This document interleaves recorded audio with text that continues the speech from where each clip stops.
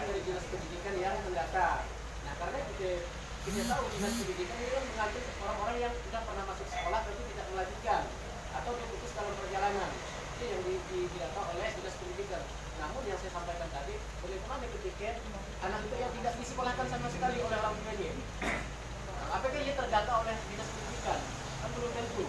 Biasanya data ini dari kecamatan, data yang Dari desa. desa, dari desa. Kecamatan ya, Dari desa. kecamatan. Dinas pendidikan pun nanti minta juga ke kecamatan. Eh, Oke, kalau dari desa Pak, kebetulan saya juga di desa. Saya paham betul terkait dengan apa data-data yang diberikan oleh desa eh, terkait dengan ini pendidikan. Kalau saya lihat, saya pribadi, kalau terkait pendidikan itu sangat minim Pak perhatian pemerintah. Asli, saya saya melihat dari dari kacamata saya ya. Yang pertama, pernahkah kita dan pemerintah Kabupaten jumlah anak itu sekolah dalam rentang per tahun. Pernah nggak? Nah artinya itu menjadi e, konsumsi yang menjadi konsumsi publik. Kan belum pernah kalau saya lihat?